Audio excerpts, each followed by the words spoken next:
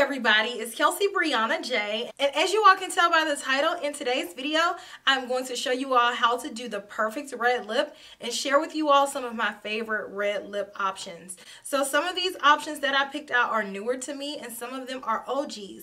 But nonetheless, all of them are beautiful. I'm going to try on all of these lips for you all. But first, I'm going to share with you all a demonstration on how to get a flawless red lip. Red lips are bold. They definitely take center stage in any look and they always make a statement. So it's important to have your signature red lip. I'm going to share with you all some of mine. So with no further ado, let's go ahead and jump into it. So the first step in having the perfect red lip is to have exfoliated smooth lips. This is the most important step in making any lip color look nice, but especially especially red. Once you've completed that step, I then like to apply some lip moisturizer. So either a lip balm or a lip gloss and kind of let that sit and marinate and really let your lips retain that moisture so your lips aren't dry before putting on the red lipstick. Mine are good to go.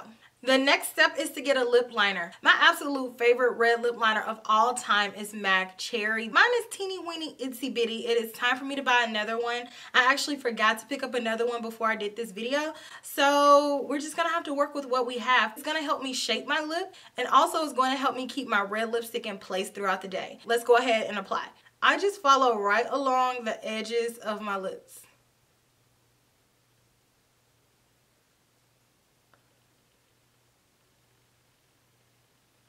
Fill it in a little bit, and then smudge it to where it kind of blends itself out. And I'm going to go in with Pat McGrath Elson. And I just apply this right in the center. And voila, that's it.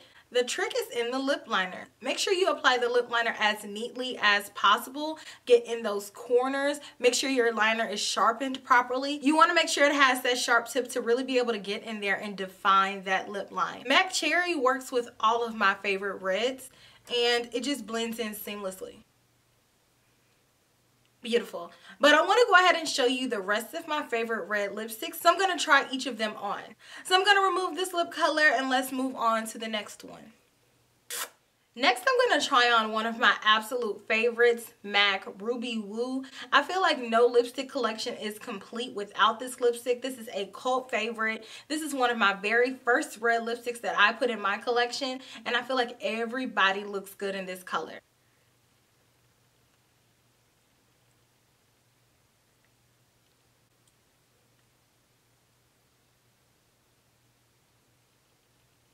It's definitely a universal color. I love the way Ruby Woo looks on me. It always brightens up my face. I feel like it's a power color, but yet at the same time, I feel like it's a neutral. So I love this color. I love it. If you've never tried Ruby Woo, make sure you go check it out. I believe this is MAC's best-selling lipstick ever. It makes your teeth look so dazzling white. Next from YSL, let's try on number 21, Rouge Paradoxe. So this one comes like in a square shape and it's meant for you to use the lines of the lipstick for lip liner. I still prefer to use my traditional lip liner because I'm able to be a little bit more precise with it.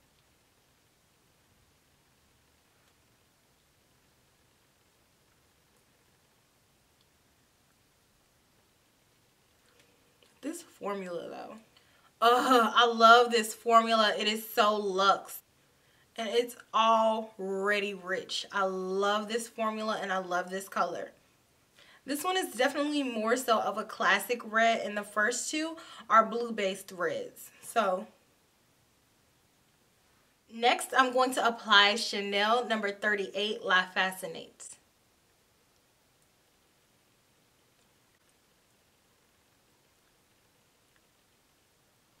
So I call this lipstick shade my lucky red because I used to be in pageants and I would always wear this color at some point during the pageant and I would either win or place like very very high. This is one of my reds that I put on when I need to feel a little bit of luck. This red is a little bit more toned down. I call this one like my grown woman red. It's more subdued, but it still makes an impact and it goes with a lot of different looks. So I really love this color. This lipstick formula is a little bit more sheer than the others that I've applied. You do have to build it up to get to this point, but this one is like a satin and it feels good on the lips. So I really like this color. And the other thing that I love about Chanel lipsticks is this. How cute is that, right? Next, I'm going to try on Rouge Louboutin Matte. Very beautiful.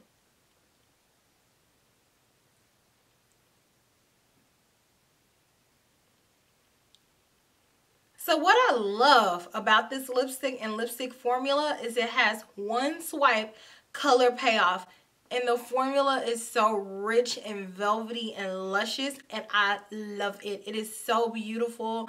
It is so intense. It's so opaque. It's so worth the money to me. It's worth every red cent that I paid for because it feels luxurious to me and it it, it's just amazing. I love the way this formula feels on my lips. Ugh, it feels like heaven.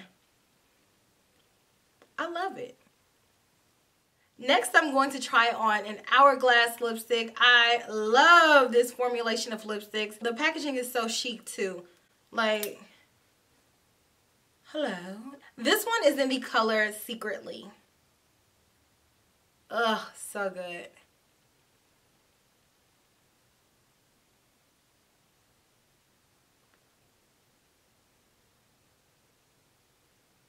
So this lipstick kind of has sentimental value because I got it when I was in Toronto last summer. I had a really good time in Toronto. I definitely have to make my way back, but this color is my Toronto red. Whenever I'm feeling like jet setting, this is the red that I need to pull out because it's slim, it'll fit in your pockets and your clutches. It's perfect. Look how much pigment you get from this little bitty lipstick if you all have not tried this formulation of lipsticks, you are sleeping. This is amazing. All right, so the last and only liquid lipstick that made the cut is the Rihanna Stunna Lip Paint in the color Uncensored. So I'm to go ahead and apply that.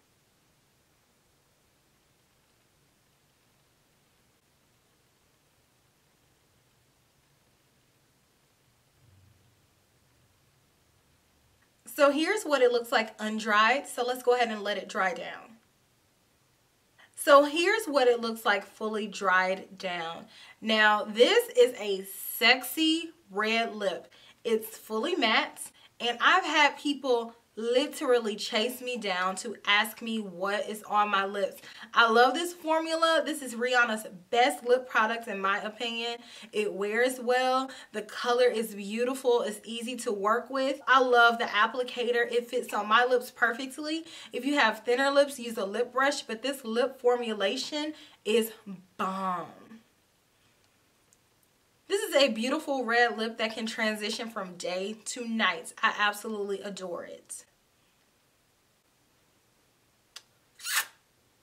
All right, so there you have it. Those were my tips and tricks and favorite red lips. Let me know some of you all's favorite red lip colors down in the comment section. Do you prefer a glossy red lip or a matte red lip? Do you like a blue based, neutral, yellow, pinky? What kind of red lip do you like? Let me know down in the comment section. And I will talk to you all in my very next video, which will be super, super soon. Smooches. Bye.